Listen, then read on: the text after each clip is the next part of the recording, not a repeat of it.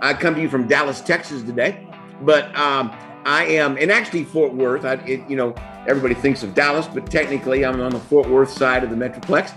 But uh, you know, Stefan and Nigel and everybody, they wanted me to come on and just say hi, uh, greet the group, share with you my feelings and and my why I'm here actually. Uh, you, you know, so but at the at the stage of life I'm in right now, man, what I want to do is make bigger impact and help more people, but also from a business standpoint, I want to do something fun and exciting in the financial services business. You know, it's kind of an old stale, stodgy business. You know, Aaron is it's, it's not that fun. It's it's you know stale and stodgy, and and, and so uh, as we begin to look at this, uh, the Connect and the crypto market and what um, Connect was doing, we decided the opportunity was just way too big to pass up. So what I did is when I talked to Wright here just earlier uh, last month about you know, you know what could happen here, and he asked me to come on and help. And you know what we did, we basically put our financial services business on autopilot. Okay, uh, I mean complete autopilot, and we're, we're rocking and rolling. So let me just kind of show you what um, what I see. I'm going to share my screen now. Let me see here. That you know they always talked about blockchain projects that we love, and and uh, as I was studying the industry, one of the things I knew, we talked about right place, right time. You know, th- this is a little graph. It talks about the adoption of cryptocurrency versus the internet. And uh, if you look at this, the adoption of cryptocurrency is far outpacing any technology that's ever been in the history of the world. Okay. Uh, here we are right here. Obviously, in this graph is six, eight, ten months old, but we are projected that when when when the crypto industry has a billion users, that's about when the internet had half a billion. So we're blowing it away by leaps and bounds. You go back that right place, right time thing. And then uh, I've got a buddy, and, and I don't want this to be a political statement of any kind. It's not intended that way. But I've got a buddy that's also in the financial services business, and I've been telling him about crypto. And he's been, if I've got one, Nigel, if I've got one link to a, anti-crypto article on my phone from this guy, I've got 50. Okay. I mean, every day or two, he was sending me uh, an article about how everything wrong with crypto. And um, and I was telling him the opposite side of that. And then one day he sends this to me, and his wife says, You better go talk to Steve. Because what's going on, you know, the, the truckers up in Canada. I, I don't know if you guys knew about that big strike happening up there. I'm getting some nods. But what happened is they ended up the government said, look, if you contributed to those truckers, they froze their assets. They froze their assets in the bank. And then this thing right here, the, the, the Russians, you know, the big countries out there were doing the same thing to the Russians, freezing their assets. And if you if you look down at the bottom paragraph here, this says a few years ago, nobody imagined banks would be weaponized against innocent, peaceful citizens. But now that governments have crossed the Rubicon, crypto is the only sensible place to store assets that require near liquidity. This article, now remember, this guy that sent me this sent me this article three, four weeks ago. He sent me 50 anti crypto articles. He said, Steve, we got to get together. Since he sent me that article, he's put a large, large six figure number into crypto. And he's also purchased over $500,000 worth of our nodes. Okay. So when you understand the big picture, see my business, when I've got the financial services business, it's stale and stodgy, but also nobody wants to talk to you. Okay. This business here, it's fun, it's exciting, it's energizing. You ask anybody if they ever do anything with crypto, they light up, man. They light up. Most of them light up like a pinball machine, right? So, anyway, but you know, so as I look at this thing, and I, I want to share with you a few highlights, okay? For some of you, you, the next five or 10 minutes, you're going to say, Yeah, I get that. I know that, Steve. But I want to share with you why connect, why I'm here, and the big picture. Okay. The, the, the big picture is we're building a community, uh, the largest blockchain community on planet Earth, and it's all blockchain with a purpose. It's not about pumping and dumping a coin. So I told you I started mining green back when, and it was, it all started around renewable energy. Um, and, and I'm going to be the first to admit to you, I didn't understand everything about it. Okay. But one thing I did know, Wright Thurston had a vision about what it could be. his vision made sense to me, even though I didn't understand every piece of it. And then this guy came along, who you heard a couple days ago, and I, I love Jonathan Gibbs. I love his vision. One of the biggest things I love about him is he's won before. See, winners win. Winners win. Jonathan Gibbs is a winner, and the vision he's got for Green, I know we're going to take that to the finish, the, the finish line, the finish line, or the promised land, whatever you want to say. Uh, but, but you know, how does it work? This is kind of the first diagram I ever saw about green. And I'm going to be honest with you. I didn't understand every piece of that. But then, you know, when I ask people, I say, look, do you, are you the guy that opens the refrigerator door to see if the light goes off when you close it? I, I mean, uh, I flipped the switch over on the wall. I don't understand everything about current, but I know the light comes on, right? And I, I knew this vision kind of made sense. And they told me about centralized versus decentralized. Again, I didn't understand every single detail, but I knew the picture on the right made a lot more sense than the picture on the left long term. And then I don't know about the first time you ever saw a fax machine work. I was blown away. How can I stick a piece of paper in on this side and it comes out a thousand miles away, just like I'm looking at right here? By the way, you, you do know who the greatest salesman, salesman in the world was, right? It was the guy that sold the first fax machine. Because I mean, who are you going to send it to, right? Anyway, uh, but you know, you put the paper in the fax, it converts to data. The data converts it back, and then it goes back to the fax machine. You got paper on the side. Well, that concept right there, and I, I know Jonathan touched on this the other day, but you know, it went from fax machines to cell phones, and then I know we all get that. We used to, those of us old enough remember those phones that were mounted in the kitchen and had a curly cord, and you had to stand there and and, and we all remember that, right? This idea right here was revolutionary. Well, if you let your mind's eye envision what the future might be, it just makes sense that this is very, very, very possible. And even if you don't understand it all, go back to that fax machine example, the cell phone example, and then this. It just makes sense. And, and so, Green is going to be the first company to take electricity and invert it to digital electricity. And my, my, my, the power of that is just, you know, Stefan, it, it, it's, it's, it's mind blowing when you think about it. And you know, we got this is being built for the last seven years. So some of you I know you're sitting here right now and say, Seven years, I understand that, but Steve, I got a problem. We're going to fix the problems. Okay. We're going to get back to that in a second, but stick with me here. Okay. Stick with me. Um, you know, what, the, what they've done is they built a model where the average guy and gal, the average person that's not a tech savvy guru, can mine cryptocurrency. You can provide a node on, on, on the network. Okay.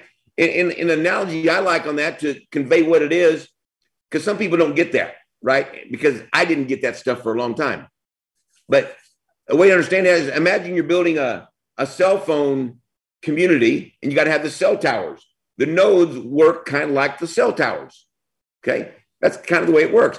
And what they've done, when I first started mining green way back when, uh, what happened is, uh, Michael, it would, uh, um, you had to have a, a, a physical box. Okay. I mean, hardware. And then later it got outdated and you had to upgrade. And the power cost was, well, now it's, it's evolved to a point to where it's revolutionary compared to what it was. In fact, it looks it's, it's like one of these things compared to what we had those phones I described way back when.